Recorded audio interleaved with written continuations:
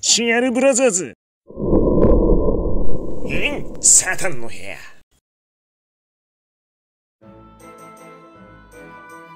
よくの件は妄想ニュースまとめていくってやつださあ今回は妄想ニュースまとめていくんだけど、まあ、ようやく発表がありクリスマスイベントがあることが分かったぜで去年と同じようにアルバシリーズが登場するとでみんなあれどう思った？パッと見の印象多分みんなと一緒だと思うんだけど、まあ、詳しい感想は後で触れていくわ。で、今回、まあ、誰が強いのか、聞くべきなのか、まあ、その立ち回り解説と、まあ、ツイッターでみんなにアンケート取ったから、どんな感じなのかっていうのを、それをまあ、公開していくぜ。これは年末年始にどでかいの持ってくんのかな？まあ、ほら、例年を超えるもっとどでかいのを。というか、もののけ少女どうした？これデビュー前に仲間ある説やっぱ有力か、これ。あんまり仲良さそうになかったもんな。ちょっとわからんけども。まあ、今回のニュースまとめていくぜ。そんじゃやっていこうじゃねえか。さあ、見ていきますか。ザナドゥで SP アイテムが使用可能にダメージオールダメージを99%軽減。これは、これ何でもいけるんじゃない？愛禅明快めちゃくちゃなんか色っぽくない？これ口紅してんの？なんかすげえな、これ、雰囲気が。で、この副友情が、インボリュートスフィアが出てくると、まあこれ、最近のマナの威力を見て、さらに副友情だから、なんかまあまあなイメージもあるけど、どれがいいんだろうな、これ。やっぱインボリュートこれが初降臨日、12月25日にあるぜ。さあ、次モンストクリスマス2020がやってくるということで、この3匹よ。いや、パッと見の印象、ちょっと正直に言うと、イラストはなんか微妙かなと思ってしまった、これ。本当に。イラストは微妙かな。しかも、そのキャラクターの人選もちょっと微妙かなと。いやーなんかあんまり意識したことなかったけど、今までのアルバシリーズって結構神がかってたのかなと。そのキャラクター選びとイラストも。まあ今回そういう風な印象を覚えたけども、さらに性能を全体的に言うと、まあぶっ壊れはいない。ぶっ壊れはいないんだけど、まあ持っていたら強いよというその、今のところあまりカバーできてないアビリティを、そのちゃんとカバーしてくれてんの、こいつらが。だから、あの、もう引かなくていいよというもんではない。あったら絶対にいつか活躍してくれると、今でも十分活躍を見せてくれる。まあそういうふうな。まあ要するに、普通よりちょっと上だけど、ぶっ壊れはいないよというのが、今回の感想。まあそしてイラストもちょっと個人的な運だったから、いや、どうなのかなと、って感じなんだけども、まあそれプラス、やっぱ去年のグングニルアルファの存在がやっぱでかすぎて、まあ、そのせいでちょっと霞んでしまうのかなと。まあ、ここ最近ほら、アルファシリーズそこまでガーっていうのがなかったから、まあ、その流れでいくと、まあ、当然の性能なんだけども、まあ、さらに、ま、十分強いんだけども、その軍アルのインパクトがあり、やっぱクリスマスにみんなもうめちゃくちゃ期待してしまったから、それでさらにちょっと印象が下がってるという可能性もあるから、まあ、性能をしっかり評価するときは、一旦軍アル置いた方がいいのかもしれないな、これは。結論言うと、まあそこまで狙うべきではない。かと言って、スルーした方がいいかなというもんでもない。から、一旦様子見よう。様子見よう。本当に。まあニュースが終わってすぐにアンケート取った結果、まあこういう風になった。こういう風に。いや、こんなに、あ、もう圧倒的にスルーかなが多いんだよな、これが。まあ普通とスルー入れても8割持ってっちゃってるから、まあ、こうなってるんだけども、まあ、クリスマスの期間長いから、31日まであるから、別に急いで引かなくてもいいのよ、本当に。これはマジで、あの、様子見よう、本当に。そのスルーでいいかなとすぐに判断できる性能でもないんだよな、これが。で、まあ、様子見る理由としては、あれほら、復刻のガチャの発表なかったのよ。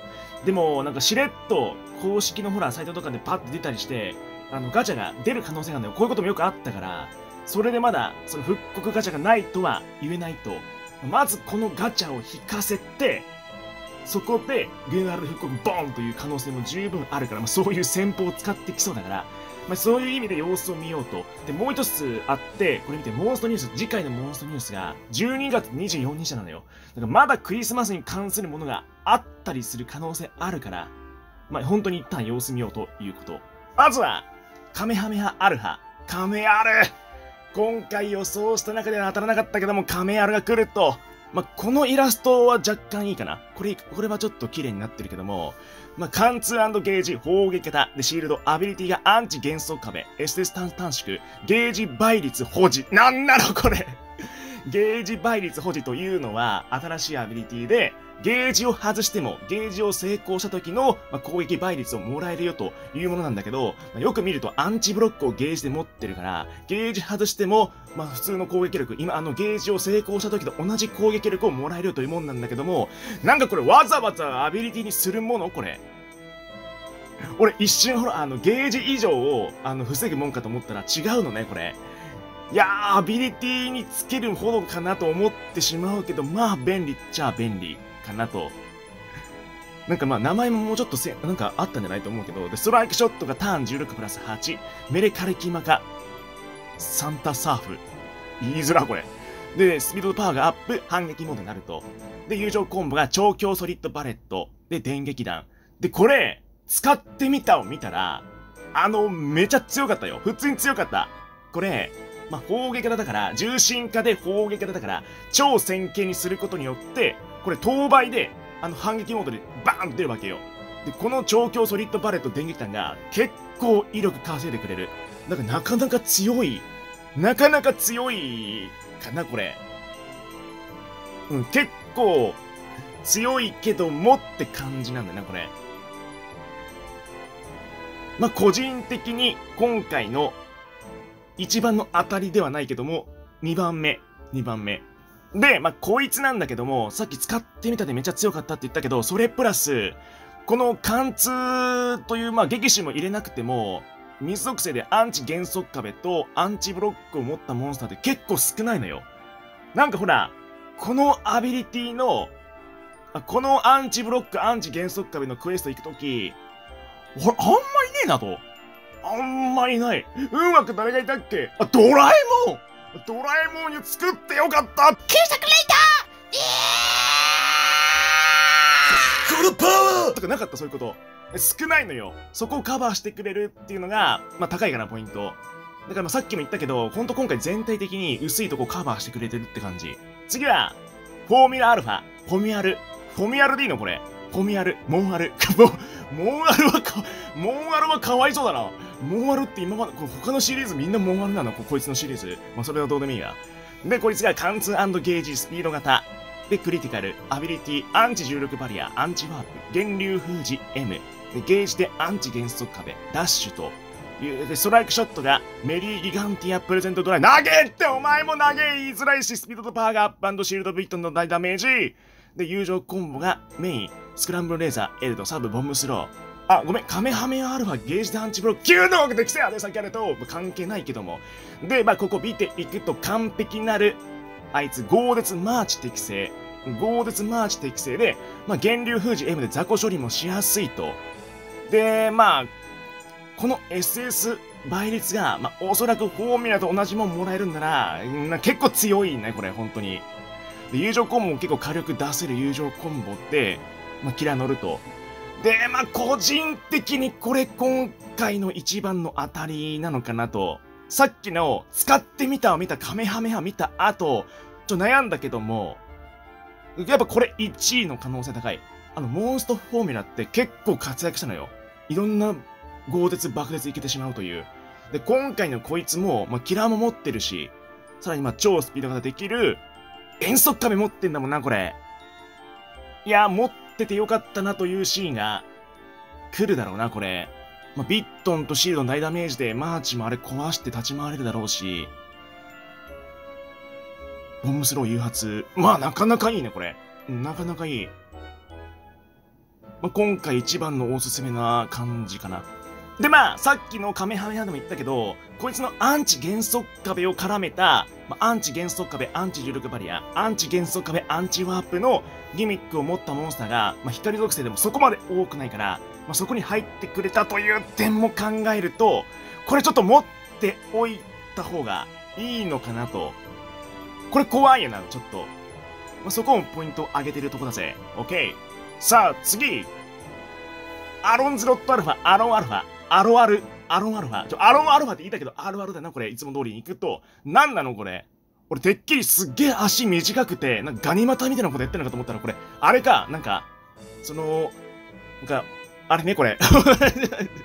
さあ次、反射ゲージ、パワー型。で、ガイド、アビリティ、アンチ重力バリア、アンチ魔法陣、無属性耐性。で、ゲージでアンチブロック、9度獲得されたけれど、連撃キラー M、9度獲得された不足と一緒な感じ。で、次、ストライクショットがターン8プラス8、減速率が、おそらく、まあ、低いと。で、貫通タイプになり、壁に触れると反射タイプに戻る。で、友情コンボ、超強毒フレア、サブ、超絶爆発、超絶、ね、これ超絶爆発。まあ、アンチ重力バリア、アンチ魔法陣、アンチブロックの、まあ、トリプル対応しており、まあ、汎用性があるというところと、対戦持ってる。で、まあ、面白いのが、この友情、この、この SS で敵の、まあ、ボスとかの壁際とかにバーンと入った後に、連撃キラー M が出るから、それで大幅に飛ばせんのかなと。それがちょっと魅力的。それやってみたい。貫通タイプでボス貫通し、壁とボスの間に連撃キラー M をドドドブリブリブリってやるとこを、見てみたい。こんなほら、かっこいい感じでポーズ決めてんのに、ボスに対してもブリブリっていくのが、ま、個人的に面白いかなと思うぜ。さあ、オッケーパーティ、パンティナパーティナパーティナね、パーティナ。さあ次は、なんかこんな感じのやつが出てくるぜ。オッケー。さあ次、期間限定キャラクター再登場ということで、まあ、ジョヤベルンとかが、まあ、出てくると。で、12月20日はモンストの日。これ特玉嬉しいと。ベル2つ嬉しい。ベルと、トラ、何これ、トラベルベルも、ベルも2つ。何これ、クリスマスにかけてのありがとう。さあ次、モンストの日、ラッキー会に、まあ、ホロバボイスセットが登場と。これは絶対交換しておこう。まあ、後ほど手に入れても、まあ、使えるから、絶対に交換しとこうぜ。さあ次、で、ギネビアギネビア登場ということで、今回こいつがすげえ持ってった。おいイラストがめちゃくちゃいい。イラストめちゃくちゃいいだ。どうした？このイラストすごく綺麗。可愛らしいし。で、なんと性能もちょっといろいろ持ってっちゃったわ、こいつ。反射ゲージ、砲撃型、砲撃型。で、ガイド。で、アビリティ、超アンチワープ、アンチ魔法陣、超レザスト、9毒できたらさけれど、ゲージでアンチブロック、もっと9毒できたらさ9、そして状態の回復と、で、ストライクショットがターン20プラス4、イーズベールホワイトブレア。プレイヤー。で、触れた敵の攻撃ターンを増加させると。で、友情コンボ。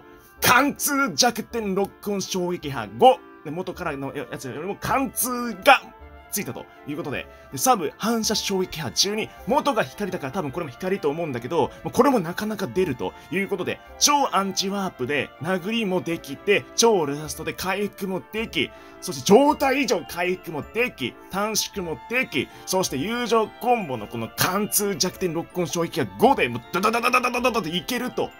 で、だってもう貫通の時代よ、これは。で、相当友情も、殴りも友情も強いし、もうなんか超レザストともう状態上回復もらって、さらに砲撃型。おいおい、どうした？どうした？どうした？何なんだろうな、これは。ちょっと、運営の狙いがよくわからねえな、これは。強いよ。普通に強い。で、さらに、まあ、クリスマスバージョンも出てくると。さあ、次はラッキーモンスター。おー、キジン、ザ・ビューティフル・ペアーズ。めちゃくちゃ声高い女の子の姉妹だった男の子の姉妹かと思ったらこいつは作った。えー、山、山、山はこれ作ってない。ゴッサム作ってない。トレザード作ったかなキャロル作ってないが さあ、というわけで、サイレント修正。まあ、たくさんあったんだけど、まあ、その中でも群を抜いてやばいのがあったからそれ紹介するわ。ちょっとこれ見てこれやばくねえか？なんと、神殿でもラッキーリザルトが実装されたと。いや、これはやばいだろ。ちょっと興奮が止まらねえわ。いや、今までよ、神殿に関するいろんなアップデートの、まあ、いいアップデートの願望とか言ってきたけど、これダントツでやばかったわ。こういうのがあったのね。これがいいわ。で、まあ、どうやら低確率で発動するんだけども、これ、なんと、最後に出てきた宝箱すべてから金種、金の種が出てくんのよ。で、本来出てこない場所も出てくる。うわ、これはすごいわ。で、まあ、運枠を連れていく。まあ、要するに自分が厳選したいモンスターではないモンスターとかにも運枠を入れていく、まあ、理由ができたし、さらに、まあ、この人ほら、送ってくれた人使ってんだけど、このスポットのラックプラス、開運をつけていく理由もできたんじゃない？これ。このパワーおいおいおい、マジか。しかもどうやらこれ、ビスケットも反映されるらしくて、これにさらにかける2の場合もあるの。バババババババと。やばいな、本当に。これはちょっと、早く神殿回りてえわ。いや、こういうサイレント修正マジで嬉しい。あと、ほら、取ってなかったんだけど、修練扉の孫悟空が上杉剣士に変わってる。どういう修正？